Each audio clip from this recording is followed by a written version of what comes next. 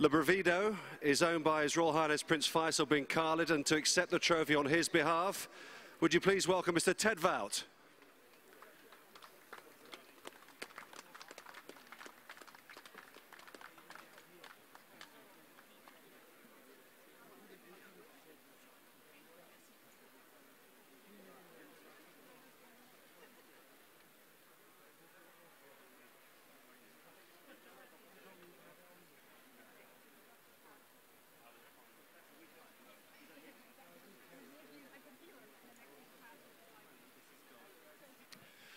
We now move on to the uh, presentation for the winning trainer. And this man needs no introduction to any racing fan. Monsieur Andre Fabre.